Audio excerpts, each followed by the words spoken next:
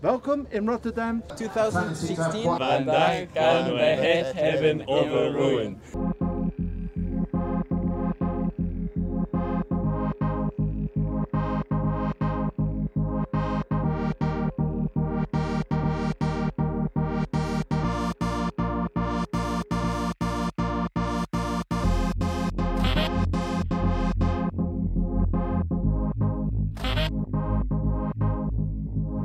What stroke is your perfect stroke?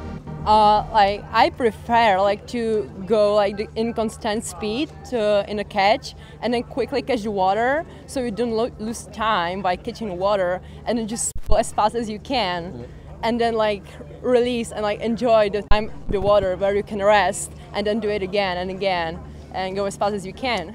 I think it's important to keep, a, uh, especially in these type of conditions, a, a long, well-connected stroke.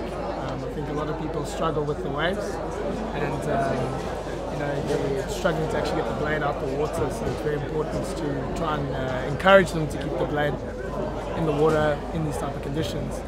But ideally, you should just get your blade out square and then put it in square, and then push really hard. It's like one perfect stroke, you know, everything should flow together. So it should never seem like one stroke, it should just be continuous moving all the time. So Okay. it gets real speed.